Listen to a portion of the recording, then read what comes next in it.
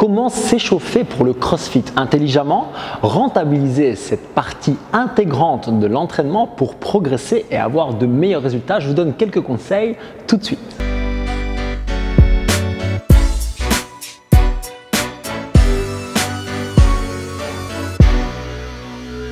Salut la team, salut CrossFitter, je suis Jack, je crois que si on s'entraîne dur et intelligemment, on va pouvoir le faire pendant longtemps, en bonne santé, sans blessure, atteindre un potentiel maximal et surtout prendre du plaisir au passage. Pour vous y aider, j'ai créé avec d'autres spécialistes de leur discipline la programmation Train to Compete. Si vous voulez découvrir notre programmation, vous pouvez recevoir un mois de programmation gratuite en cliquant sur le lien qui est dans la fiche ou dans la description. Aujourd'hui, je vous parle de l'échauffement. L'échauffement, c'est vraiment cette partie de l'entraînement beaucoup trop négligée la plupart du temps, qu'on survole ou qu'on oublie, ou alors dans laquelle on fait tout le temps la même chose, ce qui n'est pas forcément un problème. Mais voyons ensemble comment s'échauffer intelligemment pour progresser encore plus, améliorer ses performances et sa récupération notamment. À quoi ça sert véritablement un échauffement avant un WOD de CrossFit? La première chose, c'est bien connu, c'est pour échauffer le corps, le mettre à température. Le fait d'avoir le corps à la bonne température, ça va vous permettre d'avoir un meilleur afflux sanguin, de préparer les articulations à l'effort. Ça va donc vous permettre d'avoir une meilleure performance pendant l'entraînement et moins de blessures. C'est extrêmement important de faire ça avant chaque séance. Pour illustrer ça, aujourd'hui, je vous montre un échauffement qu'on a fait avec Max juste avant un WOD avec des pull-ups, des box jumps et des goblet squats. Et c'est un mauvais exemple, je le sais, parce qu'en fait, on n'a pas véritablement fait de montée en température, sauf qu'en fait, il fait aujourd'hui 35 degrés à l'extérieur, probablement autant dans la salle. Et en plus, on avait déjà fait pas mal d'exercices pour le filming, on a fait du sled, etc. Donc on a moins ressenti le besoin de monter en température. Mais vous devez faire cette montée en température de manière systématique.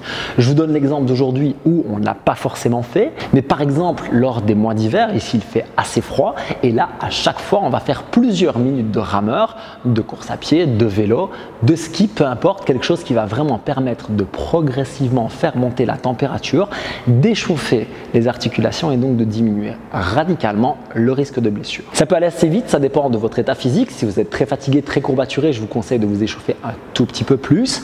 Si vous êtes un peu plus âgé, je suis désolé, c'est comme ça. J'ai plus de 30 ans maintenant et je dois m'échauffer plus que quand j'avais 16-17 ans au basket où ça allait très très vite. Si vous êtes master par exemple, il faut encore accorder plus d'importance et plus de longueur à cet échauffement. Adaptez-le donc à votre niveau, à votre fatigue, à votre âge et à la température extérieure comme je l'expliquais juste avant. La deuxième raison pour laquelle on s'échauffe, et c'est quelque chose auquel on ne pense pas suffisamment, c'est de se mettre dans le bon état d'esprit. Bien entendu, vous devez vous mettre dans ce mindset avant de vous entraîner pour être soit très concentré si vous avez un truc très technique, soit être peut-être un peu plus explosif si vous allez chercher par exemple un PR en altéro, ou vous mettre dans les bonnes conditions psychologiques avant d'affronter pourquoi pas un Metcon un peu plus long comme un 20 minutes AMRAP. Ça peut aussi être une très bonne transition après une journée de travail par exemple ou d'école, pourquoi pas. Je sais que quand je sors de mon ordinateur par exemple, parce que ça fait plusieurs heures que j'y suis, ça va être très difficile pour moi de passer de l'ordi à l'entraînement. Je vais avoir besoin de cette petite période de tampon où je vais juste bouger un petit peu, faire un petit peu de rameur, des ouvertures de hanches comme je vous montre ici par exemple, c'est quelque chose qui moi me met bien dans l'état d'esprit du mouvement et puis commencer progressivement à faire les mouvements que je vais utiliser dans le workout. Ça va vraiment être ce processus qui va me mettre dans le bon état d'esprit avant d'attaquer mon entraînement. Vous pourriez aussi utiliser d'autres techniques comme écouter de la musique. La musique, ça va vous aider à vous booster, à vous mettre psychologiquement dans votre workout. Vous pouvez aussi avoir des petits rituels. Quand j'étais basketteur, j'en avais et je sais que tous les sportifs ont leurs petits rituels. Ça peut être écouter de la musique, mettre ses chaussures, ses genouillères. Je sais que Kevin, par exemple, notre coach altéro, a toujours ce petit rituel de placer la barre sur les genoux, échauffer les chevilles, il a toujours ces, mêmes mouvements, la manière de mettre les sangles, etc. Toutes ces choses-là sont faites pour vous mettre dans le focus de ce qui arrive pour vous aider à être plus efficace. Je vous recommande donc de commencer à visualiser ce que vous allez faire juste après pendant votre échauffement déjà. C'est quelque chose que j'aime beaucoup faire et que j'incite tous les athlètes à faire, c'est commencer à réfléchir à, par exemple, pendant que je fais les ouvertures de hanches, je suis en train de voir comment je vais basculer mes hanches, engager mes abdos sur mon squat, etc. La visualisation, ça va en fait vous permettre d'être meilleur dans votre mouvement, d'avoir plus de sensations, plus de conscience de votre mouvement et donc d'avoir une performance plus efficiente. Une autre chose pour laquelle j'adore utiliser l'échauffement, c'est créer de la structure. Ici, par exemple, on a créé de la structure dans les épaules avec le overhead walk qu'on fait ici avec deux kettlebells. Pour cet exercice, vous placez les kettlebells overhead, vous faites attention de garder les épaules basses et les abdos en hollow. Paume de main l'une vers l'autre, vous voyez que moi je n'ai pas les bras parfaitement tendus parce que je reste actif dans les pecs, les ronds et les biceps, donc vraiment avec les épaules basses. Je ne veux pas aller bras tendus quitte à aller par exemple dans mes trapèzes. Le deuxième exercice qu'on a utilisé pour créer de la structure au niveau des épaules, c'est le scapular pull-up, à savoir qu'on se suspend ici bras tendus et simplement on va laisser les omoplates monter et on va musculairement, activement, volontairement les redescendre, les pincer vers le bas. Restez bien en contrôle et faites 3 à 5 reps de cet exercice avec beaucoup beaucoup de maîtrise. Vous allez progresser énormément sur les pull-ups. Pour ceux qui ne sont pas familiers avec ce concept de structure, je vous invite à aller voir la vidéo que j'ai faite sur la pyramide S de StrongFit qui est dans la fiche et dans la description. Vous pouvez aller voir cette vidéo où j'explique en fait que à la base de la maîtrise du mouvement, il y a la structure, à savoir la capacité du corps à encaisser le mouvement. Par exemple, c'est pour ça qu'on va porter des charges lourdes, c'est pour ça qu'on va faire du gainage, c'est pour ça qu'ici on a fait de l'overhead walk, etc. L'objectif c'est de renforcer suffisamment les muscles pour qu'ils puissent stabiliser les articulations et les mouvements. Dans le même genre d'idée, ici on a fait aussi des strict knee raise avec les épaules actives et le corps en hollow, vraiment sur les abdominaux, avec beaucoup de contrôle. Les knee en fait, ça va vous permettre de renforcer vos fléchisseurs de hanches et votre contrôle de vos épaules et de votre corps en hollow à la barre. Deux choses fondamentales pour devenir meilleur sur les pull-ups, chest to bar, muscle up et sur en fait énormément de mouvements de gymnastique. Dans notre programmation Train to Compete, on utilise très régulièrement l'échauffement pour améliorer la structure, avec beaucoup de travail sur les abdominaux, sur les fléchisseurs de hanches bien entendu, mais aussi porter, déplacer des objets lourds, quelque chose qui est très très efficace pour protéger la colonne vertébrale et renforcer le deadlift et le squat par exemple. La quatrième chose très intéressante à faire à l'échauffement, c'est améliorer votre technique. Un peu dans la même logique que vous échauffez physiquement, mais aussi de vous préparer psychologiquement, le fait de commencer à répéter les mouvements à très basse intensité dans un état d'esprit de practice, vraiment de répétition à basse intensité, ça va vous permettre de construire une base technique très solide qu'ensuite vous allez pouvoir appliquer à plus haute intensité dans un WOD par exemple. Je reprends l'exemple de Kevin, notre coach haltérophilie dans la programmation Train to Compete. C'est quelqu'un qui, à chaque warm-up, va répéter ses mouvements avec une charge très légère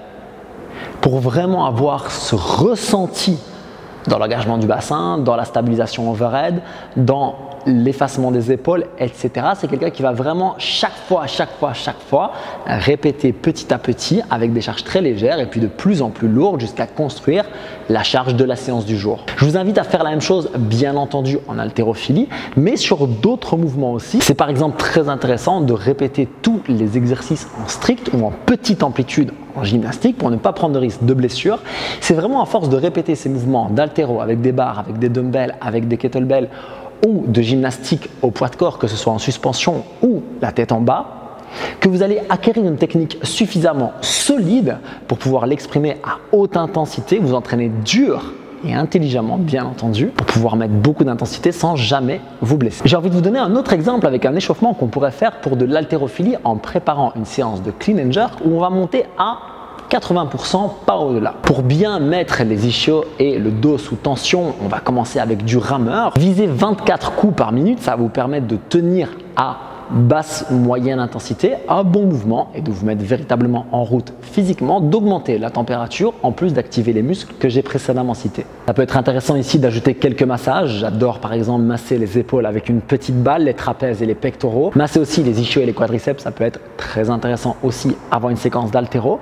Et puis en fait, je passerai directement avec une barre ou un PVC, mais plutôt une barre technique qu'un PVC. Vous allez avoir plus de sensations qui vont ressembler véritablement à ce que vous allez faire la suite. Vous allez profiter avec la barre légère de vous mettre dans le bon état d'esprit, d'améliorer votre technique avec des décompositions comme je vous le montre ici et de préparer le mouvement que vous allez faire par la suite. Ici, je vous montre donc 3 high hang muscle clean 3 push jerk et 3 high hang squat clean. Entre les séquences de ceci, je vais partir avec deux kettlebells en front track. Je vais marcher avec pour créer de la structure au niveau de mes abdominaux et de ma position front track, ce qui va être extrêmement utile pour quand je vais devoir remonter mon clean. Vous pouvez faire 3 à 4 ou même 5 circuits comme celui-ci en augmentant progressivement la charge sur le complexe de clean and jerk.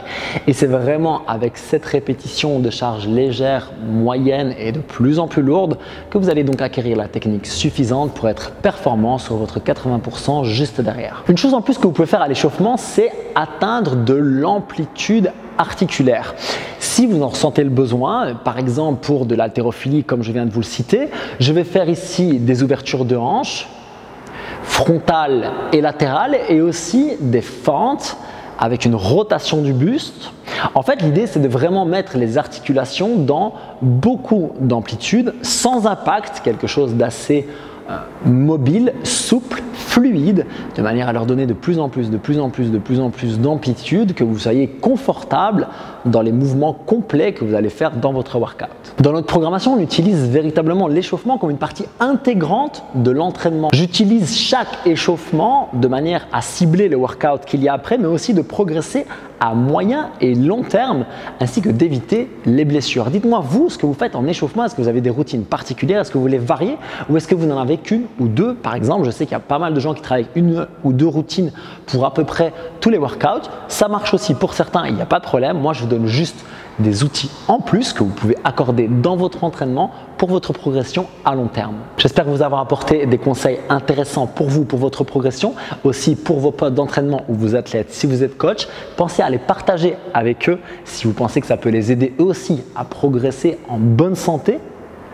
Et puis mettez un like si cette vidéo vous a intéressé, vous a plu, parce que ça nous fait toujours très très plaisir à mon équipe et à moi-même de voir que vous appréciez notre travail. Je vous retrouve très bientôt pour la suite d'autres tutoriels comme celui-ci. Train hard, train smart.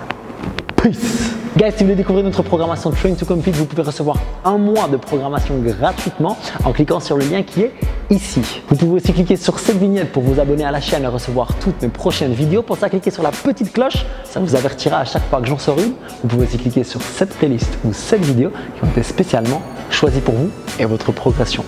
Train hard, train smart. Peace